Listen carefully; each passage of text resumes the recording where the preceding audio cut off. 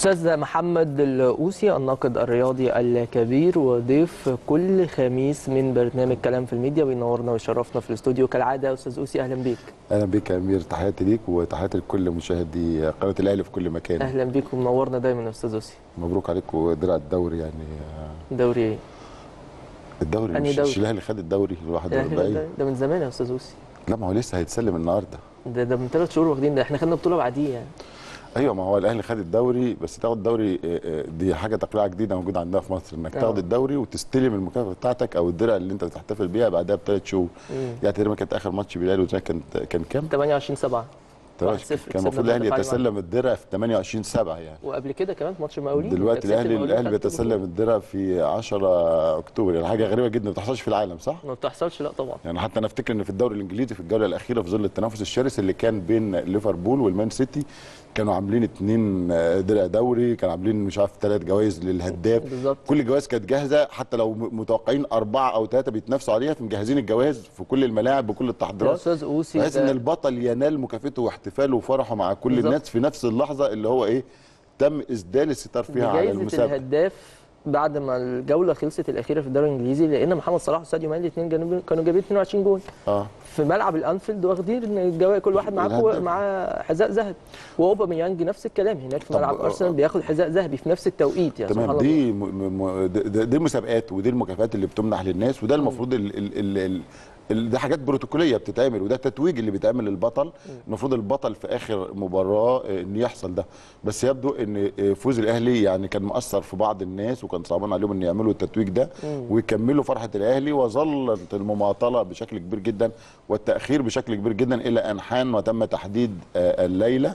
تسليم الأهلي درع ال- ال- الموسم 2018 2019 في أكتوبر 2019 ده بعد بعد- نهاية المسابقه بثلاث شهور ده بعد. ثلاث جولات من الدوري كمان. ده بعد ثلاث جولات وبعد يعني خد بطولة كمان في نص بطولة السوبر اللي هو آه، بطولة بطل الدوري. يعني يعني طبعا حاجة غريبة جدا نتمنى إن يكون في نظام في الدوري المصري لأن في تاتشات في المسابقات مهمة جدا تاتشات البدايات التوقيتات عدم تأجيل ماتشات آه، آه، آه، آه، على الإطلاق يرفض. آه، التتويج البطل ليه شكل ليه مراسم لازم. ترتيبات ليه خصوصية. آه، يعني أنا ما حدش يعرف لغاية دلوقتي ما هو السر عدم تتويج الأهلي. حتى لو كان قال لك إن هم بيعملوا درع جديدة طب ما الأهلي يتوج بالدرع القديمة اللي موجودة عندك.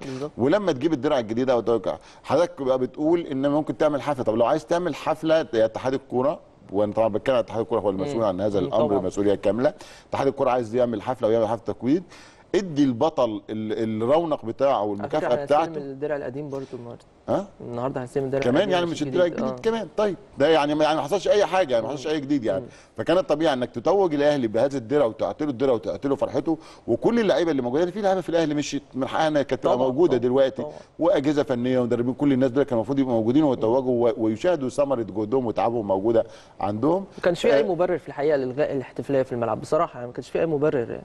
ما هو مبرر يعني هو ما كانش مبرر وما آه. ينفعش إن إحنا نقول أي مبررات يعني ما ينفعش إن إحنا نجتهد من المبررات بدليل الزمالك لما لا. كسب نهائي كاس مصر احتفل في الملعب لما كسبنا إحنا السوبر على الزمالك احتفلنا بالملعب بالظبط كان. طبيعي إنك تحتفل آه. بهذا الأمر نتمنى إن الاتحاد المصري يدرك هذا الأمر ولو كنت حضرتك عايز تعمل حفلة يا اتحاد الكورة بعد ما الأهلي ياخد الدرع الدرع الدوري تعالى بقى اعمل حفلة في أي وقت وكان المفروض تبقى برضه قبل بداية الموسم يعني بالظبط. يعني الوقت كله يعني أنا بعد ما أنجح وأحتفل وأفرح في دوري هو الأطعم في مسيرة النادي الأهلي ما بين ال 40 ل 41 بطولة آه، جاي دلوقتي خلاص. ده أنا بفكر في الدوري الجديد دلوقتي. ده أنا متصدر القمة وبسعى للدوري ال 42 يعني. فدي الفكرة يعني أقول لك على حاجة نتمنى طريفة يا أستاذ قوصي.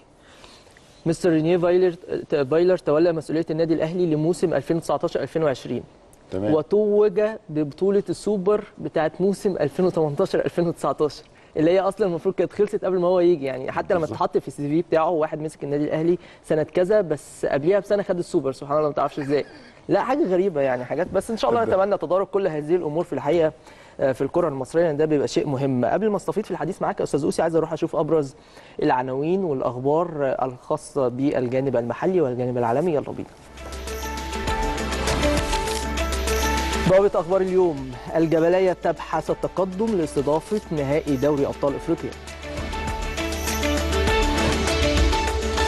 سوبر كورة. الجهاز الفني لمنتخب الفراعنة يبدأ الإعداد لخطة مواجهة بتسوانا بوابة فيتو. غدا المنتخب يتوجه إلى الإسكندرية استعدادا لمواجهة بوتسوانا. موقع الكابتن. أما متعددة لأنيسة الشعلالي في معسكر منتخب مصر. موقع كورة. مبروك.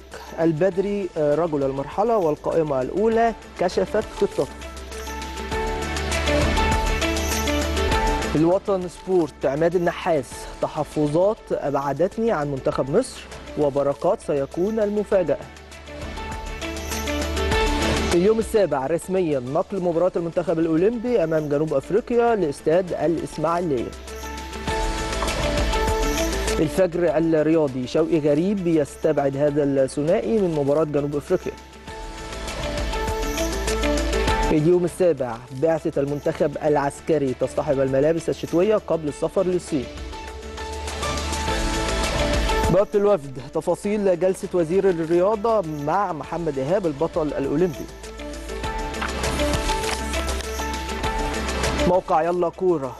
من أفضل لاعبي العالم. صلاح جزء من متحف فيفا في زيورخ. سوبر كورة. الصحافة الإنجليزية تكشف تطورات إصابة محمد صلاح والمشاركة ضد مان يونايتد. موقع فيتو. أوليفر لاعب شيفيلد يونايتد. صلاح من أفضل لاعبي العالم. سكاي نيوز عربية. ميسي يفتح قلبه ويكشف عن أفضل مباراة له وهدفه المفضل. البوابة سبورت. يوفنتوس يخطط لخطف بوجبا في الانتقالات الشتوية. في الجول تقرير توتنهام يستعد لبيع إريكسون في يناير وريال مدريد سيفاوضه. الوطن سبورت ميرور مسعود أوزيل في طريقه للرحيل عن أرسنال. وبوابة الأهرام ميسي يستضيف طفلا مصابا بمرض نادر في برشلونة.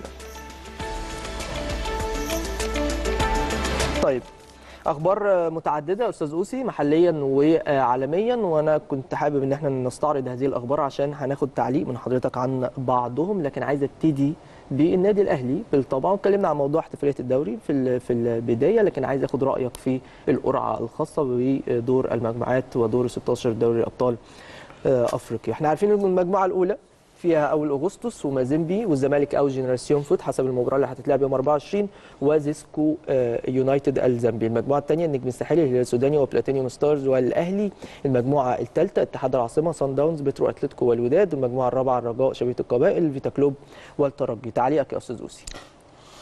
تعليق الحقيقة إن إحنا زي ما كلنا قلنا وكلنا شايفين إن دي واحدة من أقوى أقوى دور البطولات. المجموعات آه. آه. في اللي يمكن ال 20 سنة الأخيرة يعني يعني اول مرة نشوف آه، هذه القوة وهذا العدد الكبير جدا المميز من الفرق يعني لما تبص. لما تم توزيع ال 16 دول مستوى أول وثاني وثالث ورابع تشعر إن الفوارق تكاد تكون متقاربة بين المستوى صح. الأول والمستوى الثاني فأنت أمام في كل مجموعة فيها اثنين من العيار التقيل. والثالث داخل داخل بشكل قوي يعني مش مش قليل صح. يعني. يعني أقلهم يمكن المستوى الرابع إلى حد ما بعض الشيء يعني. فأنا شايف إن هي آه، آه، المجموعات كلها قوية المجموعات كلها آه، فيها توازن. ما أقدرش أقول إن في مجموعة يعني فيها كتير وتقيلة ومجموعة فيها خف كل مجموعة على الأقل فيها فريقين تقال جدا هما الأبرز والأقرب للترشح يعني. ما لم تظهر مفاجآت من الآخرين اللي هم موجودين. يعني لأن إحنا بنتكلم على سبع فرق من ال 16 سبق لهم ان بالبطولة. آه، فازوا بلقب دوري الأبطال يعني.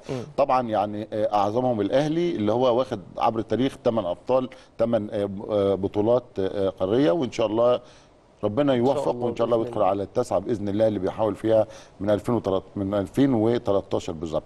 الأهلي وقع في مجموعة أنا شايف إن هي مجموعة ما فيش حاجة اسمها مجموعة سهلة يعني بالعكس مجموعه مجموعة صعبة ومجموعة ليست سهلة مجموعة ليست هينة. ليه طبعاً. مجموعة صعبة؟ هو بيواجه عندنا النجم الساحلي والهلال السوداني وبلاتونيوم آه، ستارز الزيمبابوي النجم الساحلي فريق ليه تاريخ طويل جدا وسبق أن فاز بالبطولة في 2007 وله مواجهات مهمة جدا مع النادي الأهلي يمكن آه، بداية اخر كانت 6 2 آخر مواجهه كانت 6 2 بداية المواجهه كانت في 2005 لما التقى في النهائي. بالظبط. وتعادل 0 0 في في. مباراة الذهاب. وبعد كده الاهلي 3-0 كسب 3 0 أبو تريكة وبركات. واسامه حسني لو. افتكر المباراة دي. تكرر النهائي أيضا في 2007 وتعادلوا برضه في سوسة 0 0 وفي النهائي المباراة التي اثير حولها جدل كبير جدا وفاز بها النجم الساحلي 3 1 الحكم المغربي عبد الرحيم العرجول لو تفتكر طبعاً. بادارته الكارثيه للمباراة وتغاضيه عن حساب يعني هو الواضح إنه كان. توجه ساعتها على فكرة يا أستاذ يعني- يعني ليه بقى؟ لأن الأهلي كان خد بطولة 2005 وخد 2006 بالظبط في 2007 أنت كنت قريب قوي كان ليك ضربة جزاء هناك لبركات اديته إنذار تاني واتحرم من مباراة الإياب مباراه النهائي مع النجم الساحلي ومباراه الإياب طرد عماد النحاس وكذا قرار غريب يعني, يعني طبعا يعني كانت حاجات غريبة. لكن ال ال ال النجم الساحلي رغم هذا التاريخ الكبير وهذا التاريخ القوي والمواجهات القوية آه، معاه مع النادي الأهلي يمكن آه، آه، اتقابل آه، مع الأهلي تقريبا من 10 أو 11 مرة الأهلي كسب تقريبا في تساوي في الكفة بشكل كبير جدا بغض النظر عن نتيجة المباراة الأخيرة اللي هي 6 2 يعني. آه، لكن النجم الساحلي في هذه المرحلة أو هذه الفترة بيمر بظروف صعبة جدا. يمكن تأهله كان إلى إلى هذا الدور أو دور المجموعات كان من ثقب إبرة. عندما تأهل في دور ال 64 آه، من بطل بوروندي يعني تعادل 0 0 وتقريبا كسب 1 0 وبعد كده آه، في الماتش الثاني خسر من كوتوكو واشانت كوتوكو الغاني الفريق الصاحب التاريخ العريق. طبعا. آه، خسر 2 0 في غانا وفاز 3 0 في في في سوسه وكان في تحفظات كتير جدا على حكم المباراة. طبعا رغم إن هو حكم مصري الحكم إبراهيم نور الدين إلا إن كان في كلام كتير جدا آه، حاولوا إن هو يعني ساعد فريق النجم الساحلي في الوصول إلى طبعاً. الأهداف الثلاثة يعني لكن دعنا من كل هذا آه، آه، خلينا إن النجم الساحلي فريق له تاريخ وله طبعاً، اسم طبعاً. وتم اقاله مدربه البنزرتي وهو خرج من البطولة العربية لكن في النهاية اسم الفرق الكبيرة في المواجهات الكبيرة بيكون ليها ثقل بيكون ليها. تقل ودايما الأهلي بيعطي دوافع لاي فريق بيواجهه سواء داخل مصر أو خارج مصر وخصوصا في الشمال الأفريقي آه، بيكون في اشبه بالديربي وخصوصا بيننا وبين الفرق التونسية بيبقى في. تحفز كبير جدا للنادي الأهلي في مواجهته آه، آه، دايما يعني. فهتكون المواجهة مواجهة يعني مواجهة صعبة خصوصا إن هي أول مواجهة في ال- المباريات هتبقى مع النجم الساحلي وهتبقى في سوسة يعني. آه. فمباراة ليست سهلة. الهلال السوداني من الفرق برضو اللي ليها تاريخ طويل جدا. أكيد. آه، لكن هو لم يسبق ليه الفوز بالبطولة وسبق أن واجه الأهلي في آه، 87 وكان الأهلي تعادلوا في السودان 0 0 والأهلي كسب 2 0 هنا في القاهرة كان هدف فيه هدف ذاته كان كابتن أيمن شوقي آه، آه، صاحب في الهدف؟ كان في النهائي. آه. آه اتلعب هنا في القاهرة والأهلي كسب 2 0 وبعد كده ليه مواجهات وجهات؟ والأهلي كسب والأهلي فاز عليه وبتاع. لكن الكرة السودانية الآن تواجه صعوبات كبيرة جدا في ظل الأجواء وعدم الاستقرار اللي موجود في البلاد والخوف من الملعب ومن التأمين ومن الحاجات دي كلها. دي المشكلة يعني ومن الإضاءة دي هو ال- يقال إن ممكن مباراة تتلعب أصلا مباراة الس- السودان تتلعب في مصر. يا ريت يعني تلاقي في مصر في دول أكيد تانية. يعني. أعتقد إن ده هيكون أفضل آه، بالنسبة للنادي الأهلي يعني. آه لكن فريق يعني لا يستهان به. الفريق اللي هو في المستوى الرابع والأخير ولا هو يعني. اللي ملوش تأخير وملوش تاريخ كبير يعني فريق بلاتينيوم ستارز الزيمبابوي. يمكن آه، آه، أكبر حاجة عملها إن هو كسب الدوري الزيمبابوي واللي وصله لدوري دوري الأبطال وقدر يتأهل وقدر يوصل آه، لكن في النهاية لا تستهين بأي قوة جديدة أنت ما تعرفهاش وأي قوة. صاعدة. دايما بيكون لهم مفاجآت دايما بيكون لهم طموح. زي ما شفنا حتى في الدوري المصري فريق بيلعب في الدوري المصري اللي هو فريق اف سي مصر اللي هو رقم 69 في الدوري الممتاز يعني إيه رقم 69 يعني الفريق رقم 69 اللي بيشارك عبر. تاريخات الدوري آه. الممتاز وهو أول مرة يتأهل ودي ثالث مباراة يلعبها في تاريخه في الدوري الممتاز ولم يسجل أي هدف في المسابقة أصلا قبل مواجهة الزمالك الكل كان يتوقع فوزا كاسحا. للزمالك آه. ومباراة سهلة والمدرب استهان وأراح عدد كبير جدا من اللاعبين وكانت المفاجأة أن فريق إف سي كان قاب قوسين أو أدنى. من الفوز ده درس لكل الناس ودرس لكل ال- ال- الفرق الكبيرة ألا تستهين بأي منافس وألا تقول إن هناك مباراة سهلة وحقق مكسبك وقول بعد كده المباراة فالمباراة أعتقد إن هي آه، هتكون قوية وهتكون شرسة بالنسبة للنادي الأهلي في في طيب ترتيب المباريات بتشوفه إزاي؟ آه، هل الترتيب مناسب آه، يساعد الفريق ولا الترتيب مدي صعوبة أكبر للمجموعة؟ يعني إحنا عندنا أول مباراة هناك في سوسة مع النجم الساحلي آه. بعد كده تقابل الهلال في مصر وبعد كده تقابل بلاتينيوم مصر وبعد كده. تخرج البلاتينيوم وكمل انت لو لاحظت آه، آه، الترتيب اللي موجود به الماتشات ده ليه علاقة بالترتيب اللي كان في نهايات كأس الأمم الأفريقية لو تفتكر مم. يعني حتى في المجموعات اللي كانت معمولة كنت يعني خلوا الاحتكاك والصدام في أول جولة بين المستوى الأول والمستوى الثاني مباشرة آه. وخلوا المستوى الثالث والرابع يلعبوا مع بعض علشان يدوا فرصة للثالث. والرابع إن يكون ليهم أمل في المنافسة ويخلوا الموضوع يبقى فيه قوي تشعر أن هناك شيء موجه وإن في ترتيب لهذا الأمر طبعا هو ما فيش ضغط أنت في النهاية هتلاعب كل الفرق يعني يعني. طبعاً، طبعاً. بس ما يعني لو خلوا الأهلي والنجم الساحلي يقابلوا الهلال وبلاتونيوم في أول جولتين يخلصوا عليهم كل واحد خلاص دول انتهى أملهم في المسابقة والمجموعة خلصت والقصة انتهت. هم عايزين يدوا إثارة أكبر يعني. فهيدوا إثارة الأكبر لآخر جولة آه، آه، في البطولة. فده في ده توزيع وده فكر كويس يعني. لكن ترتيب المباريات طبعا أن تبدأ بالأقوى فطبعا يعني بقدر ما له من من صعوبات انك بادئ مباراة صعبة وما تعرفش نتيجتها إيه بقدر ما أن ميزة قوية جدا إن لما ربنا يكرمك وتحقق نتيجة مع أقوى فريق خارج ملعبه أعتقد إن ده هيكون هدف طبعاً، الأهلي طبعاً. ال- القادم. ده يكون مفتاح إنك أنت تحسم مبكر يعني وتسهل الأمور لو كسبت. النجم هناك في سوسة أنت كده بإذن الله صعدت. يعني الموضوع هيبقى نسبة كبيرة جدا. قطعت الشوط. مع- برضه مش عايزين نقول رائع. كده برضه. أيوه لا بس بس لكن- فوز خارج ملعبك على أقوى فريق معاك في المجموعة آه طبعا كويسة يعني طبعا طبعا حاجة كويسة طبعا. البداية طبعا يعني يعني دي تبقى حاجة مهمة جدا يعني في الموضوع. طيب. آه، في بقية المجاميع تقييمك آه، ليهم إيه؟ أقوى مجموعة من وجهة نظرك. لا يعني يعني أنت مسكت المجموعة الأولى هتلاقي فيها طبعا مازيمبي فريق يعني عريق وفريق طبعاً، له طبعاً. تاريخ كبير جدا وفريق فاز باللقب أكثر آه، آه، من مرة. ومعاه الزمالك برضو من الفرق العريقة في أفريقيا خمس ألقاب. آه، آه، آه، وعندك آه، أول أغسطس برضو فريق تقيل مش فريق سهل. ويمكن أقلهم زيسكو يونايتد الذنبي في الموضوع. فبرضه مجموعة هتلاقي فيها مواجهات صعبة جدا بين مازيمبي وبين الزمالك. طبعا ده إذا الزمالك نجح في آه، تخطي. عقبة. جنراسيون فوت السنغالي في المباراة اللي هتتلعب يوم 24 آه، آه، ما لم يعني يعني الزمالك ما لم يوفق هتكون دي أسهل مجموعة. ليه بقى أسهل مجموعة؟ لأن هيكون عندك جنراسيون ده آه، أصلاً آه، تصنيف آه، رابع. تصنيف هو هو تصنيف رابع هيبقى تصنيف تاني. هيبقى تصنيف تاني. فعندك اثنين من التصنيف الرابع موجودين في البطولة فهتبقى الأمور سهلة جدا البتاع. في حالة وجودها أتوقع إن مازيمبي والزمالك حال تاهله إنه يبقى أو هما الأقوى. الأقوى لل- للتأهل يعني. مجموعة ال- الأهلي أعتقد إن الأهلي والنجم الساحلي هم. الأقرب للوصول. إن شاء الله. المجموعه الثالثه مجموعة من ال- المجموعات ال- الحقيقة مجموعة قوية يعني فيها سان داونز من الفرق القوية والص- كالعادة فازت الوداد، باللقب. كالعادة. ومعاها الوداد من الفرق اللي فازت باللقب بترو اتلتيكو من الفرق القويه اللي دايما ليها مناوشات في الأدوار الأولى. وعندك اتحاد العاصمة الجزائري يعني مجموعة آه، فيها آه، آه، قوية جدا قوية. جدا من المجموعات القوية. هترجع المجموعه الرابعة عندك الرجاء وشبيبة القبائل وفيتا كلوب والترجي. برضو عندك فيها الثلاث فرق عربية بيبقى فيهم صدام آه، كبير جدا أكيد. فيها المغرب والجزائر وتونس ودول بيبقى بينهم منافسة شرسة جدا يعني طبعا. فزي ما قلنا إن كل مباراة مت- متكافئة وكل مباراة قوية وده يخلي دوري الأبطال الافريقي دوري قوي ده آه، مهم جدا جدا في المرحلة المقبلة يعني طيب ده فيما يتعلق بمجموعات دوري أبطال أفريقيا والأهم بالنسبة لنا طبعا مجموعة النادي الأهلي وترقب كبير إن شاء الله بإذن الله لهذه المباريات في مختلف المجموعات وإحنا بنترقب بالتحديد مجموعة النادي الأهلي بإذن الله تكون موفقين و يتم الصعود من خلالها والمنافسة بكل قوة على اللقب المنتظر لجمهور النادي الأهلي. ده فيما يتعلق ببطوله دوري أبطال أفريقيا لكن في المقابل كان في تصريح لمستر فايلر نزل على الموقع الرسمي إن هو اتكلم مع اللاعبين وإن إحنا مركزين دلوقتي في مباراة الزمالك والبطولة المحلية بطولة الدوري. بتشوف التصريح ده إزاي ومدى أهمية مباراة الزمالك من وجهة نظرك؟ لا طبعا أهمية مباراة الزمالك طبعا يعني مباراة في غاية الأهمية والكل يعلم هذا جيدا. آه، مؤكد إن مستر آه، فايلر يعلم هذا. لا سيما بعد ما لاحظ رد الفعل بعد المباراة الأولى له قدام الزمالك كانت كانت في السوبر آه،. آه، وقدر يقدم مباراة كبيرة جدا. ويسجل ثلاثة أهداف جميلة وملعوبة ويقدم يعني تقريبا أكثر من 70% من المباراة بشكل رائع وشكل مميز. واثق جدا إن المباراة دي مهمة جدا زي ما كان مباراة السوبر يعني آه، آه، آه، مفتاح ليه ليدخل قلوب جماهير الأهلي. أعتقد إن الناس منتظرة منه تأكيد لهذا ال ال ال ال الأداء وهذا العرض. شايفين الأهلي ماشي بشكل قوي وشكل منظم فهو عنده الراجل دايما حريص على إن الأهلي يسير في هذا الطريق.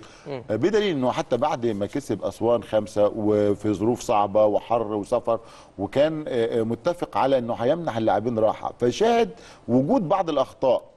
رغم الخماسية. سويسرا ياخد أجازة. آه رغم الخماسية. فهو يلغي سفره ويلغي أجازة الفريق ويجي ويقعد بالظبط. ويصلح ويعمل. اذا راجل بيركز في التفاصيل وفي الدقة ومش بيغتر بالنتيجة أو أو بيبص للنتيجة أو مجرد إن إحنا كسبنا النهارده يا أولاد خلاص بقى الحمد لله ربنا يكرمنا وخلاص الليلة كده بقت زي. الفل وتمام. مفيش الكلام ده. فواضح إن هو راجل جد ومنسق جدا وبيصر على تصحيح الأخطاء أول بأول. آه ويصر حتى على إن توضيح ده للعيبة. يعني حتى حتى ده كان نوع من العقوبة بالنسبة للعيبة. كل لاعب كان مرتب نفسه إنه ياخد له فعلا. 48 ساعة إجازة. فإذا يفاجئ بيه راجع من أسوان وبكرة عندك تمرين. فكانت عملية مهمة جدا. ده ويقال إن هو اتضايق قوي من الهدف اللي دخل في مرمى النادي الأهلي في مباراة أسوان لا، يعني. أنت متخيل لما تبقى جايب خمسة ويخش فيك جون خلاص تبقى عادي جدا يعني. لكن طبعا لما تعديش يعني. هو ما. بيبصش للخمسة بقدر ما بيبص إزاي. هدف زي بالطريقة دي يدخل فيك. لأن ممكن في مباريات تانية تكون في صعب إن يجي لك يجي فيك هدف أو تكون جايب هدف بس. فلما يجي فيك هدف بالطريقة دي الكلام ده مرفوض جدا. وده مهم جدا بالنسبة لفريق كبير بالنسبة للنادي الأهلي. الحقيقة الراجل ده يعني فلسفة جديدة وفكر جديد بيزرعه جوه النادي الأهلي. وأعتقد إن فلسفة يعني فايلر إحنا مش عايزين نتكلم مبكرا أو نضخم في الأمور. طبعا. زي ما البعض بيقول لك يعني ما حدش يتكلم قوي لسه ما ما اختبرش. لا لا هو اختبر الراجل بقى له ست مباريات فظهرت فكرة. إحنا كنا بنتكلم على المدرب عشان تتكلم عنه ست سبع مباريات. لما نوصل المباراه السادسة وهو ماشي بخطى ثابتة وخطى بيتقدم مباراه لمباراه اذا هناك شيء ما يحدث. هناك تغيير موجود جذري في الفكر الكروي بالنسبة للنادي الأهلي. وفي الأداء التكتيكي والأداء الخططي والمستوى والتحركات والتحركات بدون كرة والمراكز والمواقع واماكن اللعيبة وعملية ال- ال- ال rotation اللي, مو- اللي عملها في الفريق بشكل كبير جدا التدوير المستمر بين اللعيبة لدرجة إن أصبح عندك تقريبا كل فرقه الأهلي جاهزة وأي حد يلعب أنت ما عندكش مشكلة وأي حد يغيب لأي سبب لا قدر الله سواء كان يعني سبب فني أو سبب قهري ما فيش أي مشكلة خالص بالنسبة له. آه، آه، آه، أعتقد إن الراجل بيشيل بشكل كويس جدا. فالأمور ماشية معاه بشكل جيد ونتمنى ليه التوفيق وطبعا ماتش الزمالك يعني ماتش غير إن هو ثلاث نقاط في الدوري ومهمين إنك تحافظ وتستمر وتقتنص العلامة الكاملة. فهو بيمثل بطولة خاصة بالنسبة لجماهير النادي. الأهلي يعني تكاد تقترب. طبعا يعني أنا مش هقول إن الفوز على الزمالك يساوي بطولة لكن هو بالنسبة بيساوي بطولة معنوية بالنسبة للجماهير. وبتاع يعني بيبقى فيها نوع من البهجة الكبيرة جدا. لجماهير الأهلي أو جمهور الزمالك يعني أي منهم يتمنى الفوز على الآخر بأي شكل من الأشكال يعني. لكن أنا أتمناه في هذه المباراة إن لا يتم التصعيد في فيها لا يتم أخذها في مناح سأري أو تنافسي غير لائق. دي في النهاية مباراة في كرة القدم لا تساوي إلا ثلاث نقاط في الدوري. صح. يعني حتى اللي يكسبها مش معناه ان كسب الدوري. يعني أكيد. كسبت جولة معنوية كسبت ثلاثة بونت كويس مفيش مشكلة خالص. هتعطل المنافس كمان وده بتعطل المنافس بتاعك المنافس المباشر. المباريات دي في بتبقى مهمة جدا إنها. بتساوي ست نقاط زي ما بيقولوا. نتمنى إن هي تشار وكنا نتمنى إن هي تقام بجمهور لكن ما اعلن حتى الآن إنها ستقام بلا جمهور يعني. فين؟ في برج العرب ولا القاهرة؟ الله أعلم. لسه مش يعني. عارفين. بس طبعا في الغالب في برج العرب يعني. يعني بنسبة آه، 99% وفي ميعادها وثلاث عادي. تسعات في برج العرب زي ما بتلعب كل مرة يعني. في ميعادها ها؟ في ميعادها آه في ميعادها طبعا. هو إيه اللي هيمنعها إن تقام في ميعادها يعني؟ لا كان في اقاويل يعني. لا دعك من هذه. الشبورة التي أثيرت بعد آه، آه، من قبل آه، آه، نادي الزمالك بعد مباريات إعادة مباراة جنراسيون فوت. آه، أنا شايف إن هي كانت حاجة غير منطقية على الإطلاق وحاجة ليس لها ما يبررها على الإطلاق. كل الهدف إثارة زوبعة آه، حول هذا الأمر. طبعا الأهلي يعني آه، آه، من غير ما حد يتكلم ومن غير ما حد يقول الأهلي رافض مؤكد إن الأهلي أكيد هيرفض هذا. لأن لو الزمالك مثلا لو الاتحاد الأفريقي كان قرر إن المباراة تلعب يوم 20 يوم 21 كان الأهلي قبل اتحاد الكورة سيبادر بترحيبه بتأجيل المباراه لمنفعه نادي الزمالك. لكن آه، أنت بتتكلم في خمس أيام قبل المباراة من 19 ل 24 ده حتى الفارق الزمني ما بين المباراتين تجاوز الفارق الذي حدده اتحاد الكره يعني لما فريق يلعب هنا في مصر يبقى فيه ثلاث أيام لما تطلع بره أربع أيام. اما ان الزمالك هيلعب هنا في مصر. خمس. يوم مر- فقدامك خمس أيام كاملين. ما عندكش أي مشكلة تقدر تستعد وتقدر تخش وتقدر بتاع. وطبعا يعني اتحاد الكرة يعني آه، نفى هذا الأمر تماما وتمسك. وده بداية النجاح للمسابقة. ما فيش تأجيل لا للأهلي ولا للزمالك إلا طبقا لما اتفق عليه في بداية الموسم. بالظبط. عندك مباراة آه، قارية جوه مصر ليك ثلاث أيام قبلها، عندك مباراة خارج مصر ليك أربع أيام قبلها وأربع أيام قبلها. هذا أمر منتهي وهذا يح- يحافظ على استقرار المسابقة، يحافظ على إن إحنا يبقى عندنا آه، آه، كرة قدم جيدة وكرة قدم منتظمة لأن بدون انتظام مسابقة الدوري المحلي هيبقى موسم مكرر هيكون موسم مكرر وهنعرض نفس الأخطاء اللي إحنا بنتعرض ليها وإحنا نفسنا خلاص بقى هنمل من التأجيل ونمل من الحاجات طبعاً، دي كلها طبعاً. يعني. ده شيء آه، مهم جدا. غياب بعض العناصر عن هذه المباراة الغياب المتوقع مثلا لعمرو السولية لمحمود متولي. بتشوف إن ده ممكن يؤثر على النادي الأهلي؟ ولا في ظل سياسة مستر فايلر ما فيش تأثير؟ زي ما قلت لك طبعا أنت بتتكلم في عنصرين مهمين جدا من عناصر النادي الأهلي. طبعا. ومش من عناصر يعني وخصوصا عمرو السولية بات آه، آه، عنصرا مهما ومؤثرا مع المنتخب ويمكن الكابتن حسام البدري ضمه قبل أن يتعرض للإصابة. وفي وفي توجهه إنه يعتمد على عمرو السولية كلاعب أساسي هو وحمدي فتحي. يعني دلوقتي شايف إن الديفندرين بتوع المنتخب هيبقوا من النادي الأهلي. طبعا معاهم كابتن طارق حامد من الناس القوية والناس المميزة اللي له طبعاً. تقديره وله احترامه. وده هيسر المكان. يعني أكيد. يعني لما يكون عندك عمرو السوليه وحمدي فتحي وطارق حامد ثلاث. ديفندرات آه، والنني طبعا موجود معاهم يعني فده يعني حاجة مهمة جدا إنك عندك وفرة في هذا المنتخب خلينا في النادي الأهلي إن السوريه لاعب لا غنى عنه آه، مع فريق النادي الأهلي وده بيراميدز كمان دونجا آه، بالظبط يعني آه لا لا في نماذج كتيرة آه، جدا يعني بس أنا بتكلم على الأبرز اللي مم. موجود يعني مم. آه عمرو السولية يعني خلاص أصبح من الأعمدة الأساسية اللي موجودة في تشكيلة حتى في عملية ال- ال- التدوير اللي بيجريها مستر آه، فايلر آه، آه، لم يتم الاستغناء عن عمرو السولية. موجود يعني في ثلاثة أربعة كده في فرقة الأهلي دول يعني موجودين بلا أي تغيير إلا للضرورة القصوى يعني.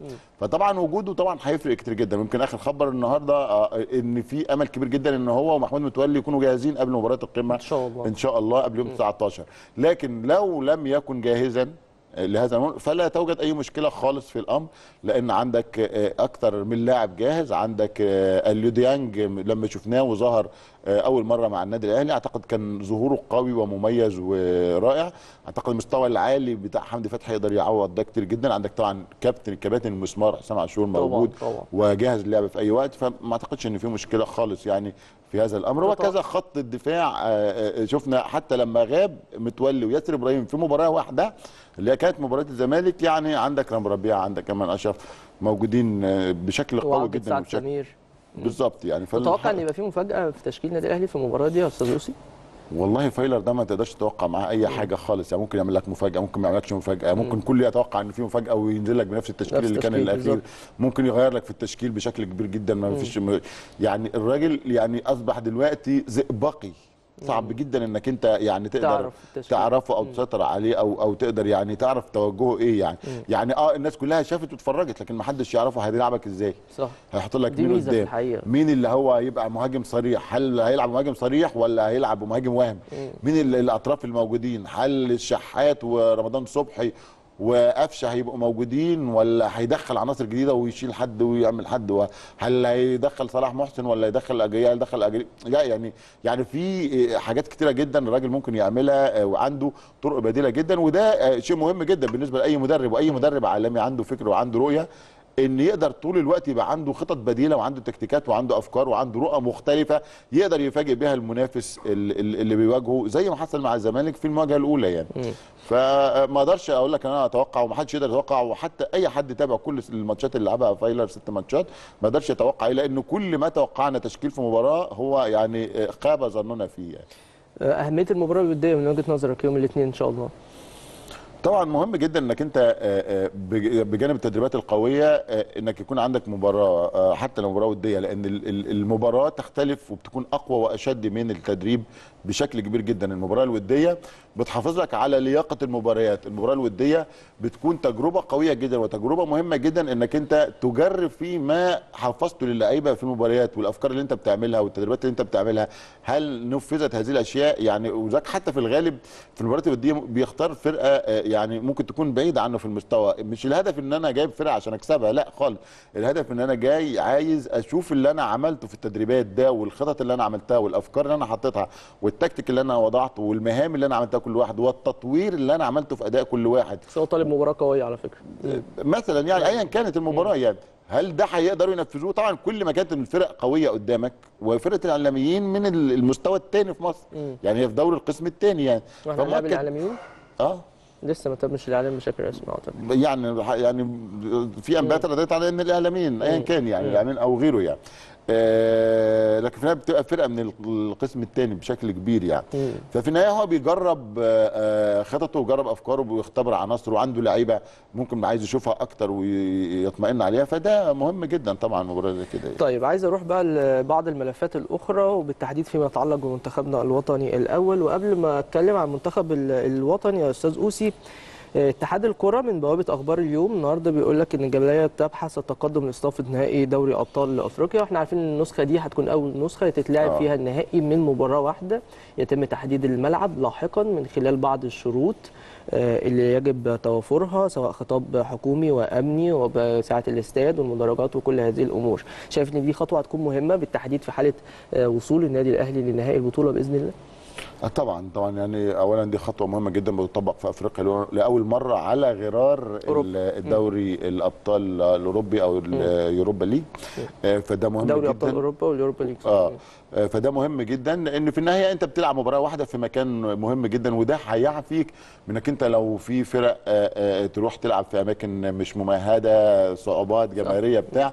المؤكد إن الكاف لما هيختار مكان يختار مكان يعني يرضي جميع الأطراف ومكان يخلي البطولة في مستوى عالي جدا ويعليها يعني وأعتقد إن دول الشمال الأفريقي في الغالب تكون أقرب إلى هذا أو لو أي دولة أفريقية يعني عندها قدرات. عند- زي جنوب أفريقيا مثلا يعني آه. يعني فمش هيتم اختيار يعني زي ما هو بيختار بطولات تنظم البطولات القارية. أكيد هيركز في اختيار الدولة اللي هتختار أو تستضيف نهائي دوري الأبطال الأفريقي لأنها هيكون مناسبة يعني آه، ليست قارية بل عليها أضواء عالمية علشان نشوف التجربة يعني. فده مهم جدا طبعا ومن الحاجات دي كويسة جدا بالنسبة للنادي الأهلي ومهمة جدا أكيد إن شاء الله. أعتقد إن ريت إن شاء الله الأهلي يكون طرف فيها بإذن إن شاء الله. الله. آه، يعني لو لو مصر تقدمت وبعد كده الأهلي آه، آه، قدر. يوصل. للنهائي أعتقد تبقى. حاجة جميلة جدا وحاجه طبعا. عظيمة جدا إنك أنت توصل النهائي وبتلعب على- أرضك ومهم جدا إن يتحدد من بدري علشان ما يبقاش في أي كلام يعني صح. يعني المفروض يعني في أسرع وقت ممكن معلن إن ال- القاهرة ستستضيف أو استاد القاهرة أو استاد برج العرب ستستضيف نهائي دوري الأبطال م- مثلا أو استاد محمد الخامس في المغرب أو في جنوب أفريقيا أو في تونس ايا كان الملعب كان. بس يعني بدري. بس آه. تبقى الأمور آه، واضحة مبكرا يعني. بالنسبة لنا يعني نروح لمنتخب مصر الجهاز الفني ده من سوبر كورة بالفراعنة يبدأ الاعداد لخطة مواجهة بتسوانا وبيقولوا إن هيتم الدفع بعض الوجوه الجديدة زي رجب بكار آه، محمد حمدي ال back left بتاع بيراميدز قفشه حمدي فتحي الشحات عمر السعيد. بتشوف مدى أهمية مباراة بتسوانا الودية بالتحديد في ظل قيادة فنية جديدة تحت قيادة الكابتن حسام بدري طبعا الكابتن حسام اختار مجموعة مميزة من اللاعبين اختار يعني كل المجموعة اللي تقريبا اللي كلنا متفقين عليها واللي الناس كلها متابعاها. يعني في النهاية أنت إحنا كمتابعين أو الجمهور أو الناس آه، بيشايفين مستويات اللعيبة. يمكن لما آه، مستر خفير أجري آه، في آه، آه، كأس الأمم الأفريقية واختار وترك بعض العناصر المهمة جدا جدا جدا وما خدهاش. كل الناس كانت بتقول ليه ما خدهاش؟ لكن في النهاية آه، إحنا بنلتزم بقرار المدير الفني لأن هو المسؤول عن النتائج في الآخر يعني. طبعاً. يعني حتى ال- الأخطاء اللي في الاختيار تم تصحيحها في آه، اختيارات الكابتن حسام البدري. سواء بالاعتماد على ضم عبد الله الجمعة هو لاعب مميز في الناحية الشمال. ولاعب آه، ناحية فيها مشاكل كتير جدا. محتاجين لاعب بقوته ومهارته. آه، تم ضم عمرو السلية. ربنا يشفيه إن شاء الله ويلحق. وبسبب آه، اعتماد بدرجه كبيرة جدا على رمضان صبحي وأنه من القوام الأساسي للمنتخب. رغم تواجده مع المنتخب الأولمبي. مجموعة كلها مهمة مع دمجها مع مجموعة المحترفين. أعتقد المباراه هتكون مهمة جدا للكابتن حسام كأول مرة علشان نبدأ نشوف إيه. مش هنقول إن إحنا هنحكم على الكابتن حسام من أول مباراة لا لكن أعتقد الكابتن حسام ليه فكره وليه رؤيته اللي هيقدر يفرضه مبكرا على اللاعبين واللي يقدر يلعب بيه واللي يقدر يطور بيه أداء المنتخب المصري ويحقق بيه الأهداف المطلوبة. واعتقد إن مباراة بتسوانا قريبة من المباريات اللي إحنا مقبلين عليها اللي هي كينيا وجزر القمر اللي موجودة في التصفيات المؤهلة لأمم أمم أفريقيا يعني. فأعتقد إنها تكون تجربة مفيدة جدا وتجربة مهمة للكابتن حسام وللمنتخب بشكل عام اللي ما لعبش أو أي مباراة منذ نهاية أمم أفريقيا بالظبط. يعني طبعا. نتمنى لهم يا رب كل التوفيق ونتمنى الكابتن حسام بدري واللاعبي آه، منتخب مصر كل التوفيق خلال الفترة اللي جاية. بالتالي أيضا المنتخب الأولمبي بيستعد للمباراتين والدقيقتين يوم 11 ويوم 13 يعني بكرة ويوم الأحد آه، أمام جنوب أفريقيا. ودي آخر استعدادات وآخر بروفا للمنتخب الأولمبي قبل بطولة الأمم الأفريقية تحت 23 عاما في آه. مصر المؤهلة للأولمبياد. تمام يعني بتشوف الاستعدادات دي ومدى أهمية المباراتين أمام جنوب أفريقيا؟ آه، دي طبعا زي ما حضرتك قلت إن مباراتين في غاية الأهمية للمنتخب. وده المنتخب الأهم بالنسبة لنا دلوقتي لأنه داخل على حدث مهم جدا. جدا. وهو آه، آه، آه، آه، بطولة أفريقيا للشباب اللي هيتأهل منها أفضل ثلاثة لنهائيات آه، أو الألعاب الأولمبية في طوكيو 2020 إن شاء الله. فأملنا كبير جدا إن إحنا نوفق في الوصول للألعاب الأولمبية لأن يعني شيء مهم جدا أن تتواجد وتلعب آه، في هذا المحفل الرياضي أكبر تجمع رياضي على مستوى العالم هو الألعاب الأولمبية. فإن شاء الله تكون مباراتين. مختار جنوب أفريقيا وجنوب أفريقيا بالمناسبة موجود بس في المجموعة الثانية اللي, اللي موجودة في ال- في, في النهائيات. منتخب جنوب أفريقيا من منتخب جيد يعني. أعتقد جنوب أفريقيا من الفرق اللي بتقدم كرة جيدة. وأعتقد إن شاء الله م- تكون تجربة مهمة جدا. كابتن شوقي غريب قرر عدم إذاعة المباراة الأولى لجنوب ده أفريقيا. بشكل نهائي ها؟ آه يعني آه، هو بيقول لأسباب فنية يعني ما ربما يكون هيجرب شيء ما آه، آه، خطط معينة أو أداء معين فمش عايز المنافس يعرفه لكن المباراة الثانية قرر إن هو هتكون مذاعة لانها تكون مش هي ممكن ما يكونش برضه هيطبق فيها الحاجات اللي هو عايز يحتفظ بيها لنفسه في البطولة يعني. كل التوفيق لهذا المنتخب أنا شايفه منتخب قوي منتخب عندنا مهم. عناصر أنت بصراحة. مع- عناصر. ده أنت عندك العناصر دي وعناصر المنتخب الأول. مش هقول لك عناصر بتلعب أساسي في الأهلي والزمالك. ده عناصر منتخب مصر الأول وعناصر من الاعيار الثقيل يعني. يعني يعني لما نتكلم على رمضان صبحي لما نتكلم على مصطفى محمد في الزمالك لما نتكلم عن صلاح محسن نتكلم عن ناصر ماهر لما عدد كبير جدا. عمار حمدي عوده محمد محمود وكريم ندفد هتبقى إضافة اللهم صل على النبي. يعني أنت بتتكلم عن مجموعة من المواهب دول منتخب مصر أول يعني مش مش منتخب مصر الأولمبي. ودول مستقبل الحقيقة مستقبل الكرة المصرية. فيا رب نتمنى لهم التوفيق ويا رب إن شاء الله الكابتن آه، شوقي غريب ينجح في تحقيق ما فشلنا فيه على مدار دوراتنا عديده على مدار طوال ال- ال- السنوات ال- دي الماضية يعني. آه، صور قدامنا من تجهيزات الحفلة الخاصة بتسليم درع الدوري للنادي الأهلي واللي هتنطلق أو تقريبا انطلقت منذ لحظات. وإن شاء الله تكون حفلة مهمة وتليق باسم وبطولة. كانت صعبة جدا البطوله اللي فاز بيها النادي الأهلي بطولة الدوري آه، رغم إن توقيتها بعيد شوية لكن مهم إن في الآخر في حفلة وفي تجهيزات وفي درع هيستلموا النادي الأهلي وأكيد استعدادات بتبقى قوية جدا لحفلة كبيرة جدا جدا آه، لتسليم النادي الأهلي درع بطولة الدوري رقم 41 في تاريخ النادي الأهلي. كنا بنتكلم عن المنتخب الأولمبي والمباراة الأولى بالتحديد يا أستاذ أوسي هيغيب طاهر محمد طاهر وهيغيب أكرم توفيق لعدم الجاهزية وبإذن الله هيكونوا متواجدين في المباراة الثانية ودول طبعا من ضمن العناصر اللي هتكون إضافة قوية جدا جدا للمنتخب الأولمبي ونتمنى لهم كل التوفيق بشكل عام خلال الفترة اللي جاية من ضمن الأخبار اللي معانا أستاذ أوسي أيضا فيما يتعلق بموضوع محمد إيهاب واعتزاله. أنا لسه كنت هقول لك على آه، هذا بطل العالم في رفع الأثقال وإن هو اجتمع مع الوزير والوزير قدر إن هو يخليه يعدل عن آه، قراره يعني.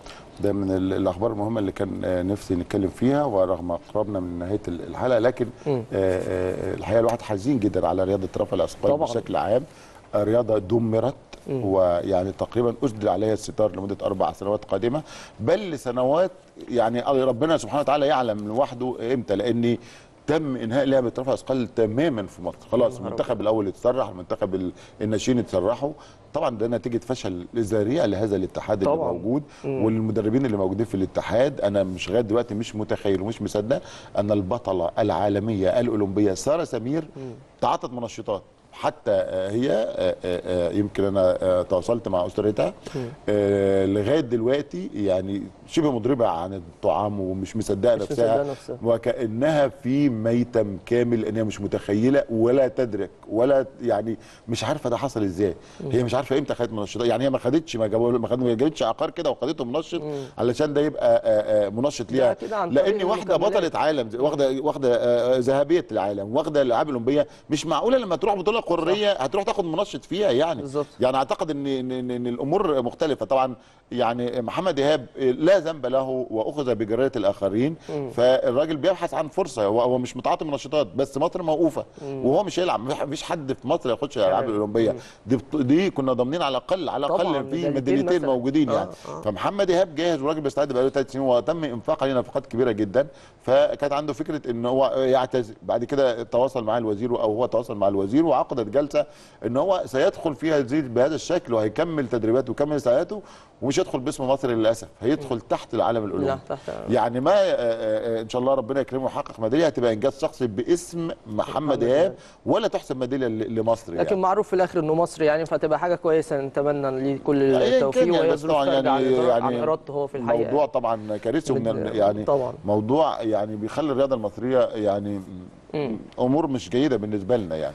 نتمنى معالجة كل هذه الأمور السلبية في الرياضة المصرية بشكل عام ونتفادى تكرار هذه الأخطاء خلال الفترات الكبيرة المقبلة. أستاذ أوسي نورتنا وشرفتنا كالعادة بشكرك شكرا جزيلا. ربنا يخليك يا أمير ودايما موفق. مبروك آه، عليكم درع الدوري آه، 41 وعقبال 42 إن شاء الله ان شاء الله. الأهلي بيتصدروا بجدارة وبيسير فيه أو بينطلق نحو بقوة بشكل يعني لم نره في السنوات الأخيرة يعني. إن شاء الله موفق يا رب إن شاء الله. نتمنى كل التوفيق للنادي الأهلي. بشكرك شكرا جزيلا أستاذ أوسي. دي كانت حلقتنا النهارده والفقرة الثانية الحوارية مع ضيفنا العزيز الأستاذ محمد الأوسي. بكرة إجازة إن شاء الله ونرجع مع حضراتكم يوم السبت في حلقة جديدة من كلام في الميديا. إلى اللقاء.